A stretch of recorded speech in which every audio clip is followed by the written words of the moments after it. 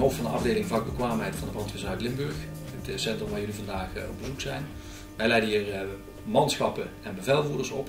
En daarnaast verzorgen wij de oefeningen en de bijscholing voor onze officieren van dienst, en de hoofdofficieren van dienst.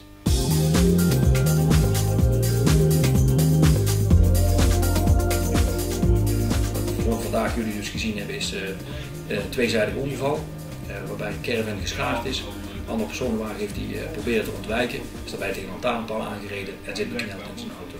Nou goed, begin maar eens vanaf de tijd dat je op de kazerne komt tot het plaatsen van wat ga je doen, hoe ga je het doen en hoe zet je je mensen zo veilig mogelijk in. Uh, en wat je ziet is eigenlijk de virtuele omgeving die we van jullie gebruiken uh, om onze bevelvoerders te trainen in scenario's. Dat wil dus zeggen enerzijds de procedures die binnen Brandweer Nederland afgesproken zijn met elkaar en anderzijds ook om mensen meenemen in bepaalde scenario's. Dat betekent dat we eerst de mensen de de mogelijkheid geven kennis te maken met het systeem door een heel simpele inzet te draaien. Dan maken ze kennis met het systeem. Ze hebben daarvoor ook een voorlichting uh, in gehad. Daarna bouwen we dat op, ook in zwaartepunten van het incident. Dat is hoe we het, het bijscholen doen. Anderzijds, in het opleiden, daar wordt men gewoon zeg maar, uh, meteen mee geconfronteerd. En proberen we in 9 tot 10 scenario's toe te werken naar het uiteindelijke examens. Wat voor ons heel belangrijk is, is dat voor onze regisseur het programma makkelijk te bedienen is. Maar anderzijds voor onze studenten het realiteitsgehalte ook heel hoog is. Nou, eh, destijds is er dus voor ons, eh, zijn jullie als partij daar heel eh, geschikt uitgekomen. Enerzijds merken we dat we dus de bediening steeds simpeler wordt. Dat betekent voor onze regisseurs dat het nog makkelijker wordt bepaalde scenario's na te bootsen. Maar voor de student wordt het ook steeds realistischer. Doordat jullie bijvoorbeeld gezichtjes hebben nu gegeven aan bepaalde hulpverleners.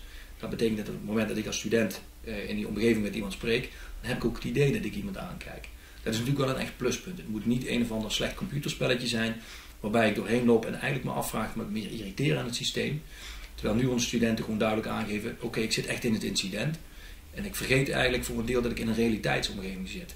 Maar het gaat hier ook best een keer ja, behoorlijk naartoe. Mensen leven, toch, leven er toch heel goed in, die, die scenario. Er wordt met aanhangers geschaard, er is een ander voertuig bij betrokken, die is tegen lantaarnpaal aangereden. Ja, dat benadert toch wel de realiteit. Tenminste, voor het betreft hectiek, voor het betreft uh, uh, ja, uh, iemand toch ja, met zijn gevoel in en inzet hebben. Ja. En, dat komt er goed uit. kennismaking met het systeem wordt gecombineerd met een echte HV-oefening buiten. Dus we willen wel ja, echte bevelvoerders afleveren aan die bevelvoerders die achter een joystick lessen hebben. Maar ook mensen die in de praktijk kunnen toepassen wat ze hier leren. Mensen leren het beste door als je het systeem volledig kunt integreren. Dat betekent dat je enerzijds praktijk doet, afwisselend met theorie en ook nog eens virtueel. Want virtueel is wel een, echt voor mij een andere leervorm. En op het moment dat je dus die drie componenten kunt integreren, dan heb je een optimale leercurve. Dan zit je dus mensen die kunnen echt fysiek voelen aan het voertuig. Oké, ik moet het goed stabiliseren, want anders gaat het wiebelen. Anderzijds, de theorie heb je nodig. Wat zijn nou eigenlijk de procedures die we ervoor gebruiken? En als je daarbij virtueel nog eens een, een mooi scenario bij kunt zetten, ja, dan heb je alle drie de dingen bij elkaar, denk ik.